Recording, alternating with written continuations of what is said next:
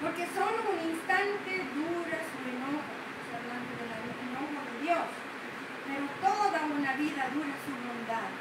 Si por la noche hay llanto, por la mañana habrá gritos de alegría. Mi papá era una persona muy, muy disciplinada.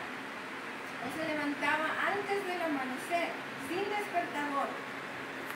Y él le gustaba ir a ver el amanecer mientras tomaba su.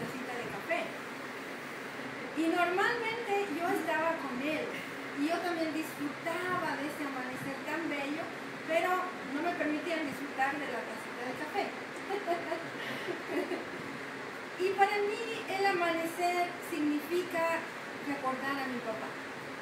Y es un recuerdo muy lindo.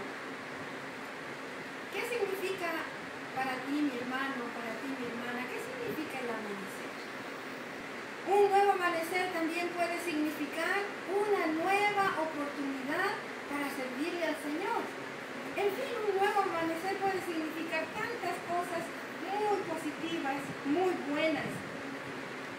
Y vamos a ser también sinceros, que a todos nos ha debido pasar, me imagino. Hemos debido pasar por esas noches interminables de llanto, de no poder dormir, porque nuestra situación tal vez es tan, tan difícil, tan dura. Yo he pasado por esas noches. Pero ¿qué pasa al amanecer?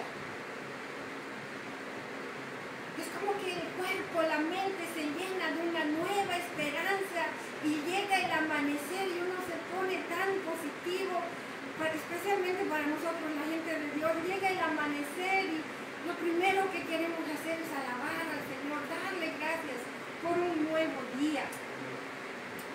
Y es así como eh, nos llenamos de